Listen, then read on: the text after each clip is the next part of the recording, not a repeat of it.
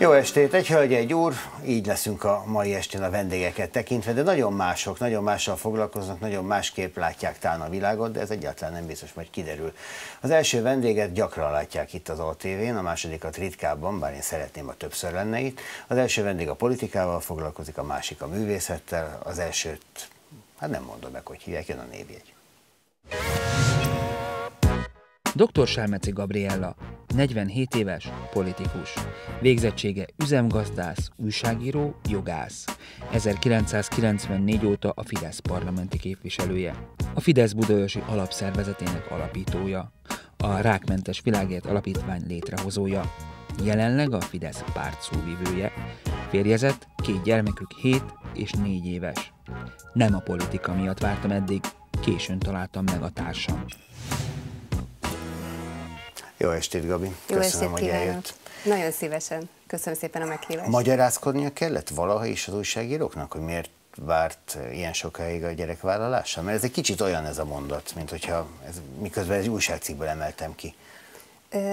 Arra nem emlékszem, hogy újságírók így nekem szegezték volna a kérdést, hogy miért vártam ennyi ideig a gyerekekkel, de azért így baráti körben, ismeretségi körben sokszor előjön ez a téma, de kicsit más megközelítésben, tehát nagyon sokan panaszkodnak az ismeretségi körömben is, hogy nehezen találják meg a párjukat, a társukat. És, és ez egy komoly téma a mai Magyarországon, talán a mai Európában is.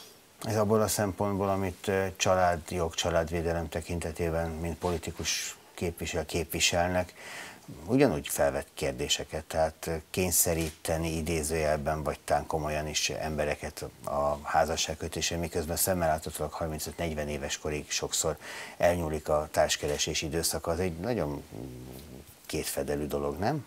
Ö, Ki kényszerít itt embereket házasságkötésre? Hát azért pontosan tudja, hogy most az a családjogi törvény, ami van, és az a felfogás, amit a KDNP képvisel elsősorban az önök nagy azért az arról önre. szól, hogy ami nem házasságon belül van, ami nem a klasszikus családfelfogásban, az nem is feltétlenül család. Egon, ez egyszerűen nem így van. Tehát azért eh, néztem ilyen döbbenten és nagy szemekkel önre, mert eh, eh, van, aki ezt alapvetően nagyon félreérti, van, aki pedig elferdíti. Nem a házasságról van szó az új polgári törvénykönyvben és az új szabályozásban, hanem arról van szó, és azon tört ki a vita, hogy mi számít családnak. A KDNP javaslata, amit a Fidesz el is fogadott, az az, hogy ahol gyermek van, az családnak számít. Tehát ahol egy szülő neveli a Na gyermeket, de az ez nem így volt, számít. ugye ez haj- hajdanában úgy szólt, hogy ahol, ahol házasságkötés és gyermek van, azt tekintik ők családnak. Tehát házasságkötésre jogilag kényszerítenék a, kényszerítenék Nem, a nem, ez párokat, mert hogy, mert hogy nem egyforma jogi státuszuk van azoknak, akik élettársi viszonyban élnek, vagy akik házasságban. Ez gyakorlatilag így is lesz most, hogy az alaptörvénybe is bekerül. A kiindulási pont az az, hogy gyermek és gyermek között nem lehet különbséget tenni. És minden, eh, tehát ahol gyermek van, az családnak számít, és egyforma jogi De szabályozás vonatkozik rájuk. ennyit bingizni? Tehát, Szerintem nem, szerintem tovább Na is de, de, de léphetünk. két, tehát... de nem, nem, nem, két éve erről szól a közbeszéd egy része, legalábbis egy része. De én mindenkit szeretnék megnyugtatni, hogy mondom, ott, ahol elvált anyuka vagy elvált apuka neveli a gyermeket, az is családnak számít, ott, ahol nem házasodtak össze a szülők és gyermeket nevelnek, az is családnak számít. Tehát mindenhol, ahol gyermek van, az a közösség, az családnak Azt számít. mondja, és a... a Fidesz garantálja, hogy aki nem házasodnak össze, ugyanolyan lehetőségeket kapnak jogilag.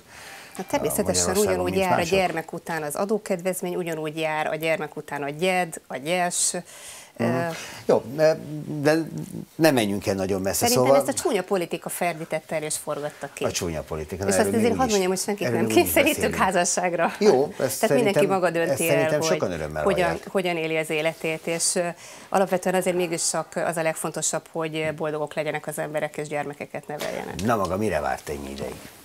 Nehezen találtam meg a társamat. Ezt nyilatkozta, Lehet, igen, hogy válogatós is voltam, nem tudom, de az a lényeg, hogy én boldog vagyok, tehát ezt mondhatom, és egy nagyon klassz férjem van, aki egy remek apuka, és én örülök, hogy megadatott, hogy 40, illetve 43 éves koromban megszülettek a gyermekeim. Nem félt, hogy le, lemarad, mint ahogy a hölgyek ilyenkor szoktak félni?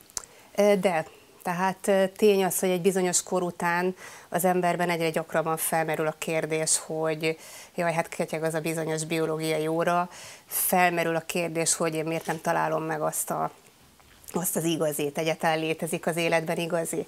És azt hiszem, hogy én nagyon erősen bíztam, és hittem abban, hogy én megtalálom Ebben azt a mennyire férfit. szólt bele a politika, hogy nem találta meg az igazit?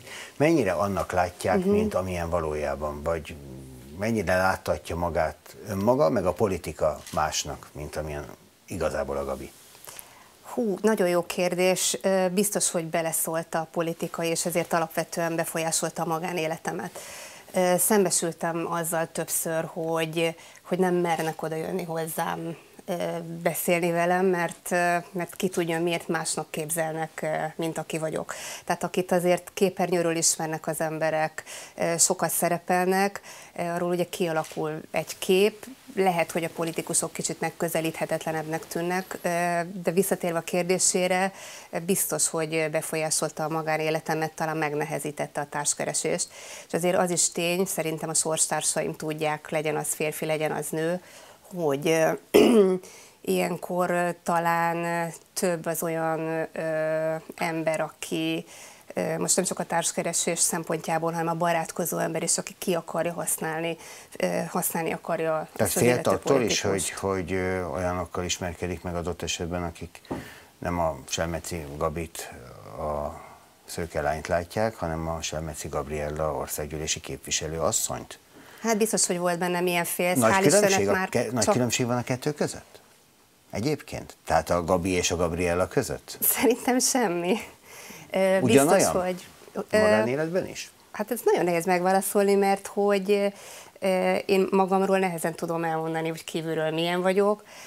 Én azt tudom, hogy reggel felkelek, otthon, hát nyilván otthon inkább anyuka vagyok, családanya vagyok, kicsit gyengébb, kicsit védtelenebb, aztán bemegyek dolgozni, akkor az ember kicsit, kicsit harcosabb, keményebb, hogy ezért a politika világa nem egy könnyű műfaj, és este, amikor hazamegyek, vagy délután, amikor rohanok az iskolába, óvodába a gyerekekért, akkor vált az ember gondolkodásmódja, megint csak más a fontos. Tehát e, nyilván másképp beszél, kedvesebb az ember a gyerekeivel. Akkor hazaérek, akkor hogy jó, hogy egy kicsit gyengenőnek lenni, otthon van a családfő, és akkor leül az ember, és, és, és nő, és családanya. És akkor az a fontos, hogy mit főzzünk, gyerünk fürdeni, feküdjünk le. De én azt hiszem, hogy ez nem csak a politikus nőkre vonatkozik, hanem minden olyan nőre, aki dolgozik. Alapvetően igen, csak ugye a nyilvánosság az óhatatlanul torzít, torzíthat, és a nyilvánosságban megjelenő kép meg óhatatlanul lehet más is. Igen, ez ami igaz. A, ami a valóság, mert ugye a politikus helyzete az egy szerep azt valamilyen módon el kell játszani, vagy legalábbis én azt gondolom, igazából elhatároztam, hogy nem fogok aktuál politizálni, de akkor most itt van ez a pillanat, ezt most akkor idehozom. Ez a mai felhozatal, ma 13 óra valahány perckor adta ki azt a közleményt, hogy a baloldal képtelen megújulni, a baloldalon csak a gyűlölet újul meg újra és újra, ennek bizonyítékát láthatjuk ma is, további mocskolódásokkal és hazugságokkal folytatódik az MSZP gyűlöletkampánya, ezt írta a mai közleményében. Hogy születik egy ilyen? Tehát bemegy reggel, van egy helyzet, és akkor na, erre írjunk valami erőset, vadat, és hát durvát? Hát hogy születik egy közlemény? Tehát több dolgot kell tudni. Az egyik az az, hogy a politikusok élete az olyan, hogy folyamatosan figyeljük a híreket, főleg ugye szóvivőként. Tehát a reggel az úgy indul, hogy megnézzük, hogy mi várható aznap aztán folyamatában nézzük. Na de hát ezt tudjuk előre, Ferenc... ez várható a Fidesztől, és tudjuk előre, mi várható az MSZP-től. De jó, ennek hogy tudja, hát hogy nem, mi várható Hát minden nap ez van. Hát azért nem egészen. És amikor kijönnek a hírek, akkor hogyha a szakpolitikusok tartanak például sajtótájékoztatót és mondanak valamit, akkor mindig előkeressük ezekre az adatokat, a tényeket, és akkor a szóvivő ezt mondatokba önti, megfogalmazza a közleményt, amiről tudni kell, hogy azért a közlemény egy sajátos műfaj. Tehát ott ugye rövidebben fogalmazunk, élesebben, hogy hogy nem mondjam, kicsit digitálisabban, tehát ez egy picit más műfaj, mint amikor az ember például leül egy stúdió beszélgetésre. A gyűlölet szót kitalálta ki? Ron Werber.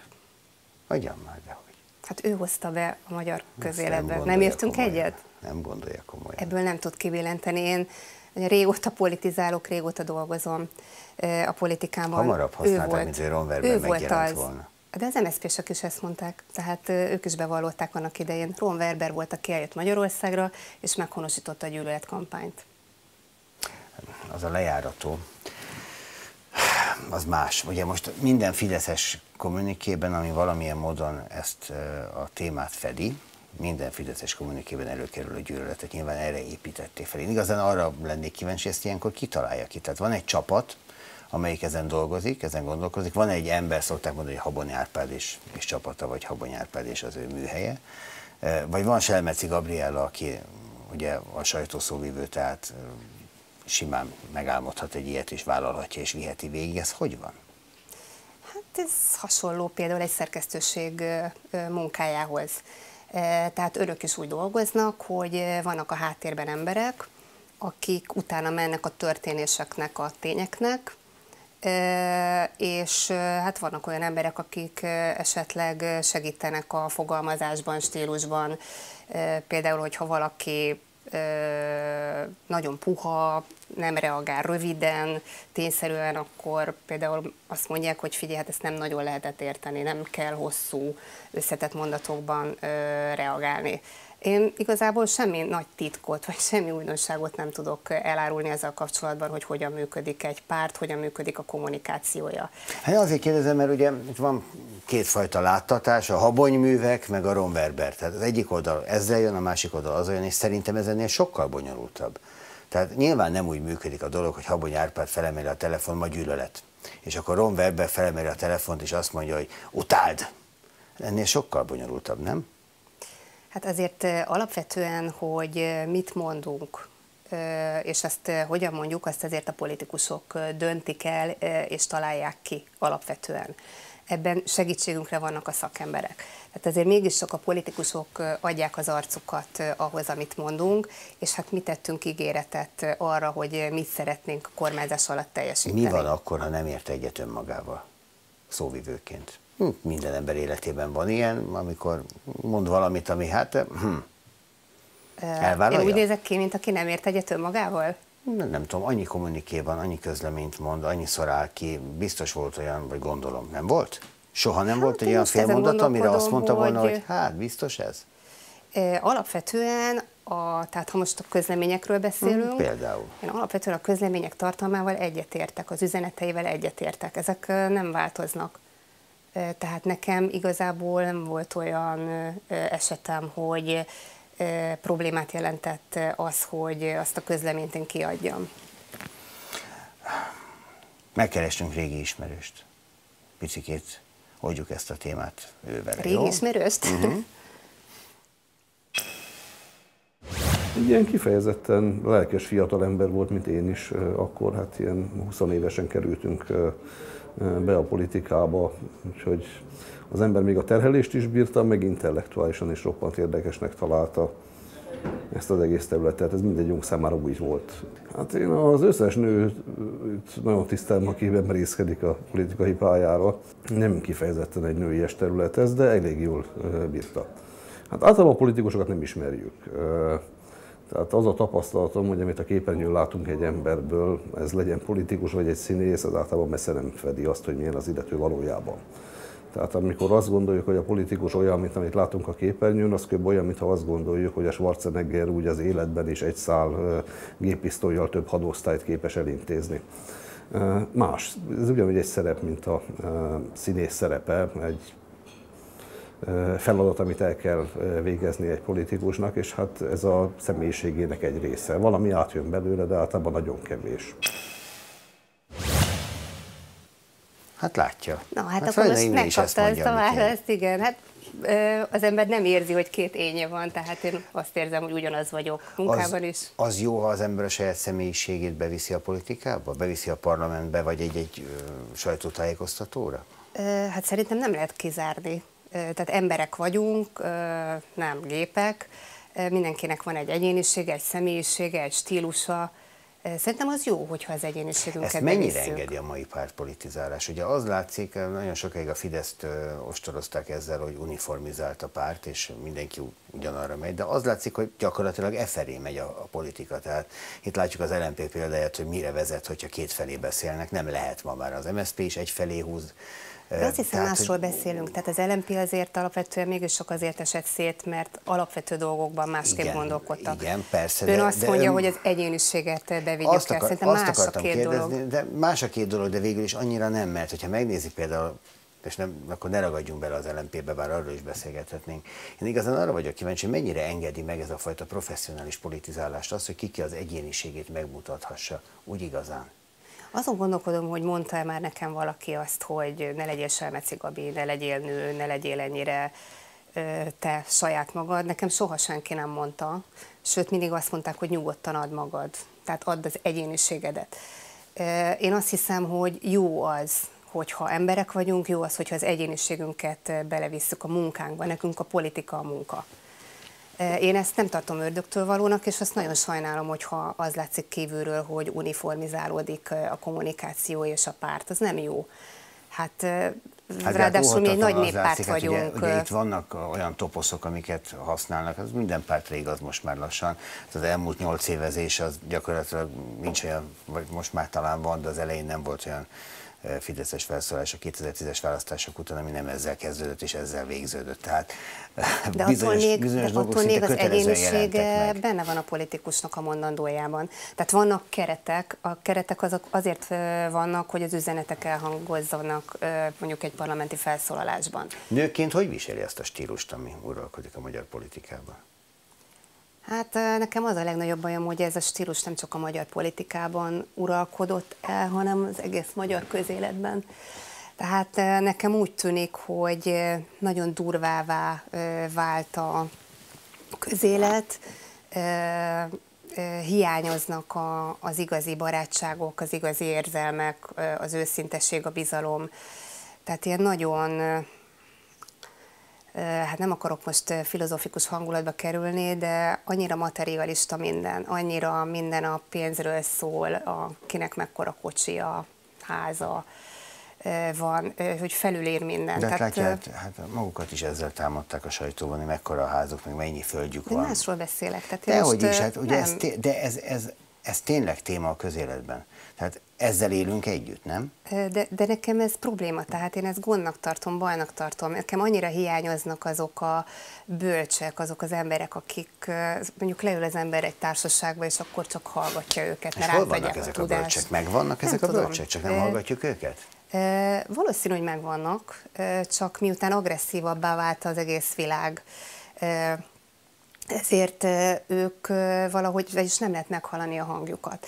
Hát Tehát, nézem, meg itt volt a, ez a filozófus ügy. Ugye őket a társadalom egy része a nem deák értelemben a hazabölcseinek gondolja. Igen. Önök meg kvázi nekik mentek, végül kiderült, hogy olyan sok alapja ennek nem volt. Hát ők biztos nem lesznek azok a bölcsek, akik tártkarokkal Én másról beszélek, én arról beszélek, amikor az ember, tehát nem a, nem a közélet, nem a média mondja meg nekem, hogy ki az, akire hallgatnom kell, és ki az, aki után mennem kell, hanem amikor egyszer csak úgy belülről érzem, hogy annyira szeretnék eh, leülni ezzel az emberrel, és csak hallgatni. Eh, van ilyen szerencsére a közvetlen környezetemben, eh, de kellene több, akik átadják azt a, a türelmet, tudást. Hát ez egy azért nehéz kérdés, mert amiről én beszélek, ami nekem személy szerint hiányzik, az egy személyes dolog. Tehát nem pártszintű, nem társadalmi szintű dolog, hanem arról beszélek, hogy nagyon-nagyon régen azért egy társadalom úgy épült fel, hogy mindenkinek megvolt a dolga olyan szempontból, hogy például az idősebbeket tisztelet övezte, és az idősebbekre azért figyeltünk, mert ők már bölcsebbek voltunk náluk és nekem személy szerint ez egy picit hiányzik, hogy legyenek olyan emberek, akikre felnézhetek, legyenek olyan emberek, akikről úgy érzem, hogy én szeretném őket követni. Tehát és most nem az idolokra gondolok, és a média által kreált idolokra, sztárokra, hanem azokra az igazi mély gondolkodású, mély, érzések, mély érzelmű, mély érzésű bölcsekre. Tehát ha már ilyen de személyes baj, vizekre ilyeneket, De az baj, ha ilyeneket nem lát maga körül. Szerintem kevesen vannak, tehát van, de kevesen vannak, szerintem több kellene. Na az előbb kérdeztem, hogy hogy viseli a közélet hát, hangvételét. Azért ebből nem engedem ki olyan könnyen, mert én azt gondolom, hogy abban a Fidesz is, és, és, és maga Gabi szintén benne van, hogy az a közéleti hangvétel, ez ilyen. Nem csak a másik, ez két oldalú, minimum két oldalú. Szerintem a politikához, de talán az élethez is kell egy pici cinizmus és humor. Tehát én azt mondom, hogy úgy érzem magam, amilyen közérzetet magamnak belül teremtek. Tehát, hogyha nem hagyom, hogy például lehúzzanak már reggel, délelőtt a hírek vagy a kollégák, hanem azt mondom, hogy én akkor is jól érzem magam, és mindenben megtalálom a jót, akkor akkor én is egy kicsit boldogabb leszek, és kiegyensúlyozottabb. És nem hat, amikor olyanokat ez... olvas magáról, mint amit tehát a, a Selmeci Gabriel a pofátlan hozzáállása, meg, meg hasonló ilyen címek az újságokban, ezeket, ezek nem hatnak? Őszinte legyek? Uh-huh. Ha eljut hozzám, és olvasok ilyet, akkor ember vagyok, természetesen rosszul esik. De igyekszem ezeket kizárni. Tehát én például nem olvasok kommenteket.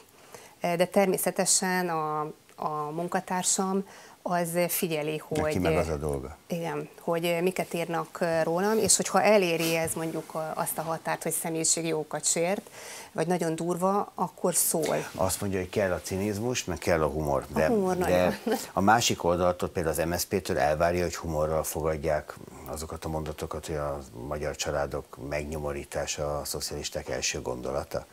Én tőlük... Ezen, ezen nehéz mosolyogni. De én tőlük nem várok el semmit. A humort azt magamra vagy a közvetlen környezetemre értettem. Tehát én például úgy De hát dolgozom... itt mind a közvetlen környezete vagyunk. Tehát honnan tudja, hogy a szomszédja nem egy szoszi szavazó? Hát, Lehet, hogy a speciál tudja, joga. hogy nem. Én szoci hát szavazókkal is tudok beszélni, és egyébként jókat nevetni velük mert hogy alapvetően úgy gondolom, hogy mindenkinek a szíve joga, hogy kire szavaz, és hogyha a szomszédom szoci szavazó, az az én hibám és az én gyengességem, Jó, mert így, nem dolgoztam igen, elég jól. Ezt így is nézheti, persze, meg úgy is a világrendje, hogy nem tetszhet mindenkinek az, ami önöknek Pontosan. tetszik. De, de, de közben ezek a mondatok, menni. ezek nem túlzások? Tehát nem, nem esünk általónak egy olyan oldalára, ahol már nincs is semmi szinte? Csak a nem, a politika világa ilyen és mindig ilyen volt. Tehát, hogyha például a régi parlamenti jegyzőkönyveket olvas, akkor hirtelen megáll az ember szíve, hogy uram Isten, mit vágtak ezek egymás fejéhez, vagy hogyha az ember volt megnézi. Ilyen, bekerült a parlamentbe, az a 94-98-as időszak, az, az, az tele volt nagy vitával, az a hornkorszak hogy a bokros csomag, tehát azért ott, ott óriási viták voltak, nagyon nagy indulatok voltak, de nem volt ez a fajta megfogalmazás, ami már... Tehát ennyit változott a durvul, világ? Uh, durvul, amit mondtunk, tehát durvul a közélet, egyre agresszívabbá is válik, és amint mondtam, igazából Ron Werber honosította meg. Tudom, ezt most azt mondja, hogy Fidesz szóvivő vagyok, azért mondom, de tényleg ő honosította hát meg Magyarországon. Mondaná, ezt, ezt mi kezdtük, de, de ügyesek a szocialisták jönnek utána. Nem mondom, és nem is hiszem, hogy így volt. De tehát a következőt azért tudni kell, hogy a politika világa az kicsit más. Tehát a politika világában másképp is beszélünk, mint most itt önnel, vagy leülök bárkivel kávézni, vagy az MSZP-s szomszédommal. Vagy nem tudom, hogy van MSZP-s szomszédom, közvetlen szomszédom. Én sem.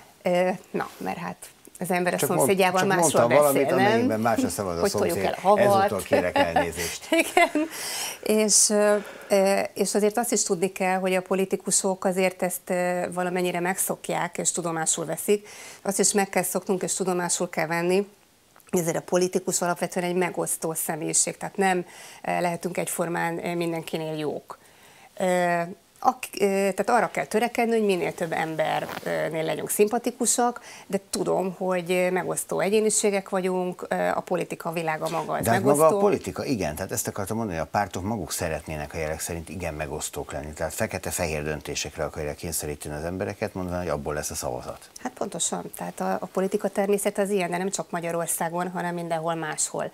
Hát nézem meg egy nyugat-európai kampányt is, én most keleti irányba nem akarok elmenni, mert ott híradókban láthatunk jeleneteket orosz-ukrán parlamentből például, de de láttunk már máshonnan is szúf jeleneteket. Hát láttunk már az angol felsőházból hát, is akartam mondani, urakat, aztán tehát... megálltam a mondat elején. Emlékszik még azokra az időkre, amikor a politika sok-sok nagy buliról szólt? A nagy bulizásokról, koncertekről, meg... Emlékszem. Nem hiányzik? Ez egy kicsit hangulat? hiányzik, őszinte vagyok, picit hiányzik, de én azt hiszem, hogy ez a rendszerváltás utáni hőskorszak volt, és a Fidesznek is ez a hőskorszaka egyszer volt. mindenkor a vége? Ö, nem. Most is vannak azért ilyen bulik, de nem összehasonlítható Egyszer hívjanak már el minket rendszerváltozás utáni hangulattal. Na, idézzünk egy De csak még rendszerváltás egy, utáni még egy mondatot, fel. hogy egyébként, eh, amiről most beszélünk, kiváltja, vagy ha az embernek klasszbaráti társasága van. Tehát az nagyon sokat segít, hogyha megvan a jó baráti társasággal, kiérezheti a gőzt, tud beszélni, tud vicceket mesélni, És ez megvan? finomakat főzni, Ez megvan? meg hál' Istennek. És a politikából? És is. És is. Tehát vannak úgymond civilek is, akik Vannak persze, hál' Istennek a vannak. vannak. Na jó, hát egy bizonyos értelemben civil, más értelemben messze menőleg nem, de a régi idők tanulja következik, az biztos. A Gabi azt mondta, hogy ő szeretne szakszofonozni, és szeretném egy kicsit tanítgatnám, hogy egy pár dolgot együtt le tudjunk fújni szakszofonon, és ő nagyon, nagyon komolyan vette ezt a kérdést, és elkezdett ő komolyan foglalkozni én rajtam kívül is, hogy gyakorolt egy szakszofon, és akkor megbeszéltünk valami dallamot, amit együtt eljátszunk, már nem emlékszem, hogy melyik volt, de el- eljátszottunk együtt ezen a és hát fölépett a Scorpio zenekar, és hát azért volt komplet még az egész kép mellett, hogy a választókerület az hozzánk közel állt, a szakszofontanítás hozzánk közel állt, be, mentünk a Scorpio zenekarral egy koncertre, és hát a technikai szolgáltatást meg a mi cégünk csinálta, tehát így jött kompletten össze az egész kérdés. És hát ha belegondolok abba, hogy a Gabi megelőzte a korát, mert akkor még a Bill Clintonról nem tudtuk, hogy ő is szakszofonozik. Na mi volt az a dal? Igazi meglepetés volt. A, el tudnám most fújni, de ö, nem emlékszem Na, a kellett volna címére. hoznunk egy szakszofon, bárcsak. Hát a kiszárad benne a nád. Hát ez, ez, ez meglepetés. Tudja, mikor volt ez Egon? 1994-ben. Ki sem merem mondani. Az még egy minden szempontból más korszak volt, a Fidesz Más. szempontjából is egy másik világ Más. volt. 94-ben szakszofonoztam először a Karival. E, kampányzáró buli volt, és akkor eljött a Scorpio, és a végén együtt fújtuk. Hát szép idők voltak. Amikor Budaörsön Fideszt alapított, mert hát a Budaörsi Fidesz alapszervezetet, Igen. azt alapítóként, ők alapítóként tekintenek önre. Nagyon, nagyon furán néztek magára? Önre magára, ezt jól összehoztam ezt a mondatot, igen. Szóval nagyon, nagyon fura volt, hogy, hogy, Már hogy kik- hát kik itt van egy néztek volna? fiatal lány, és most pártot akar itt nekünk alapítani, kik fognak ebbe jelentkezni, vagy az egész adta magát abban a, a felfokozott hangulatban, hogy itt vagyunk, fiatalok vagyunk Budaörsön, nincs még Fidesz, csináljunk. Ez a második variáció volt, tehát hogyha visszaemlékszik az 18 Na, 1989 1800. kötője 90-es évekre, akkor volt a rendszerváltás előszele hangulata. Nekem a, a nagy fordulat az június 16-án, tehát 1989. ö, ö, június 16-án következett be Nagy Imre újratemetésekor.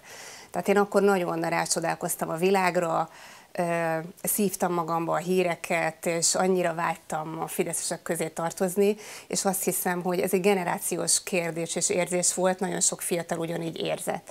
És 90-ben, amikor a Budaörsi Fidesz csoportot szerveztem, szerveztük, hát akkor fiatalok voltak körülöttem, és hasonlóképpen éreztek. Tehát nem volt nehéz dolgom, nem Sok- csodálkoztak Sokan megvannak még közülük a Nem. Fidesz számára? Nem, nem. Tehát az első generáció, az első egy-két hullám, az tehát nagyon kevesen váltak közülük profi politikusként, azért nem tudtuk akkor, hogy mivel jár ez az egész. És azt, hát honnan tudta volna, nem Hát is ezt honnan kérdezem, tudtuk volna, azt, igen. azt végig tudta követni, azt a sok változást, ami a Fidesz útján kísérte a pártot, a párt irányultságát, a párt világnézetét, a párt gondolkodását. Sose volt olyan pont, hogy ezt én most itt igazából nem akarom, aztán mégis megbarátkozott vele. Hát együtt éltem vele, együtt nőttem fel vele. Hát igen, tehát, de néhányan azt mondták, hogy ők például ebből Fodor Gábor Ungár Klár, ugye ez a nagy 93-as ö, Igen, távozó igen. társaság, aztán néhányan később is lemaradoztak, tehát azt mondták, hogy köszönöm, ezt én így már nem akarom. Sose volt ilyen érzése? Hát én sose volt ilyen érzésem, hogy nekem nem megfelelő hely a Fidesz, sőt, én mindig azt mondtam, hogy egy élet, egy párt. Én mindig egyetértettem a változásokkal, ami valószínű azt jelentette, hogy nekem az egyik idolom valószínű a Fidesz jelenlegi vezetői voltak, és most is ők, és én egyetértettem ezekkel a változásokkal. Szerintem, ahogy alakult az életünk, tehát 20 évesen csatlakoztunk a Fideszhez, fiatalok Tehát voltunk. Attól, mert idősödik az ember mondjuk a liberális hevülettől eljut a konzervatív megállapodottságig? Valószínű, hogy ez is benne van, igen. Tehát ahogy telnek múlnak az évek. És ezt nem akarják azok az érteni, akik ezért kritizálják a Fideszt? Ezt nem akarják érteni azok, akik kritizálják ezért a Fidesz ezt a változást? Tehát az életkorral is változott, mert a generációs párt volt hajdanában? Én szerintem az emberek emiatt nem kritizálják már a Fidesz, tehát az embereknek az a fontos, hogy, hogy az ő saját életükre vonatkozóan mit mond a Fidesz. Én szerintem ma már nincsenek olyan éles viták, mint régen voltak, hogy mi a különbség a jobb oldal, bal oldal között, mi a különbség a liberalizmus és a konzervativizmus között. Tehát az átlagembereket nem ez érdekli, hanem az érdekli, és arra vár választ a politikusoktól, hogy nekem a következő hónapban jobb lesz az életem, vagy sem. Rezsicsökkentés, tudom.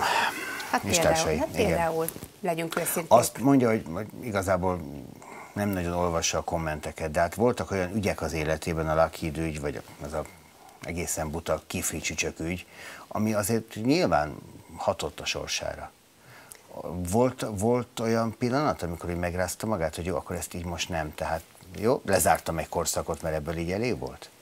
E, hát Vagy ha volt, akkor nem ezek miatt? Azt Nézzük meg, hogy mi volt a két ügy nagyon röviden. Ugye a kifli ügy az az volt, hogy behúztak a csőbe. Az semmi nem volt. Tehát, tehát mindenki, ki, mindenki evett már kifli csücsköt életében, nem, nem, nem egy, egy közértben is. Az Szerintem történt, hogy valaki, egy, méghozzá egy, egy közeli ismerősöm megkínált és letörtem egy darabot a kifliből, aztán elbúcsúztunk, és mindenki ment a maga útján.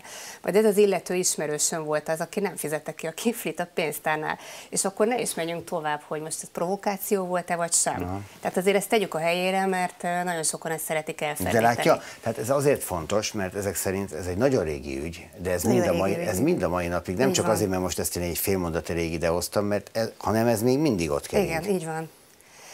Hát nézze, az ember ö, követel életében hibákat, tehát hogyha az hibának minősül, hogy én bemegyek egy nagy áruházba, és elfogadok egy felkínált kiflicsüsköt. levél?